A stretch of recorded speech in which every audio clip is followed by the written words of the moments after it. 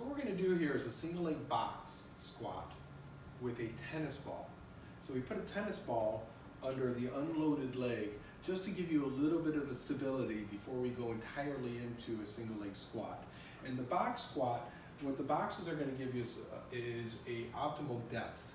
We're looking for that spot, whatever that depth is, that you can go, or the client can go, without losing optimal positioning. As soon as there's compensation, you've gone too far. We go to that edge is where there is no compensation. So I've already set this up for Josh. He's gonna demonstrate. The knee is gonna track out always over the, of the working leg, all over the second and third toe.